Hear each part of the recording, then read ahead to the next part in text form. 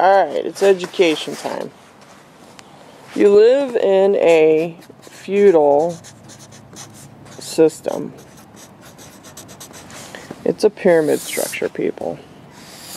This is how it's all designed by the fallen prince of the planet. At the very top, you have Lucifer. And all the fallen angels.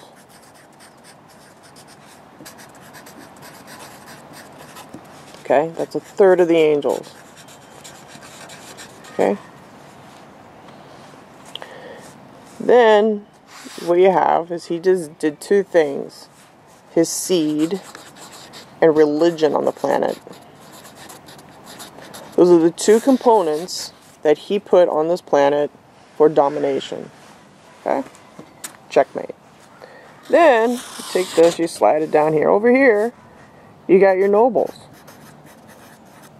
Okay, this is the priesthood and his bloodline families. 13 of them, right? I just went through them. The Orsini and all them. Okay, and over here you got your Knights Templar. These are your knights, okay? Now down here is you. You're a peasant. Okay? You work the land. Okay? And in between this and here, you get your corporations and shit. Right? And these people work for the corporations that feed them. This is the banking system. Right?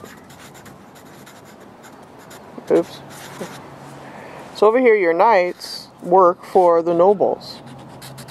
Now the knights, according to the old feudal system, were supposed there was a there was a a trust between the peasants who worked the land and a place to live.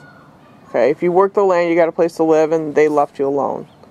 Okay, but if something, if an invader came in, then these guys came in, they were supposed to, you know, kick out the invaders or something, right? But the knights now are technically, in modern terms, right now, the cops. Okay. Okay. And these guys have designed government. Okay. So that's how it is. The cops work for the nobles. They don't work for you anymore.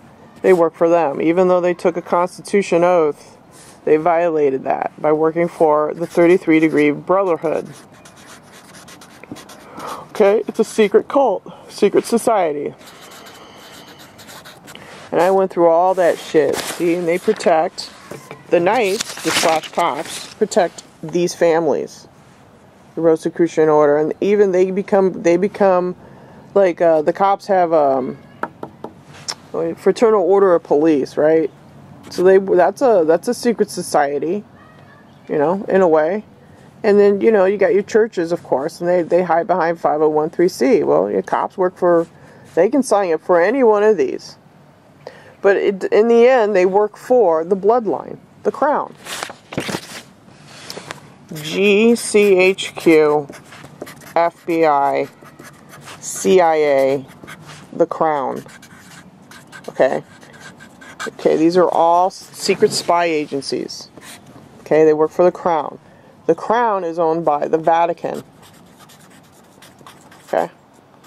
I can't type right. Okay. And here's you. You just want to live fucking life right? You want to be no, bothered by any of this nonsense. Well, technically, they're not supposed to bother you. But you see, what they did is they sprayed the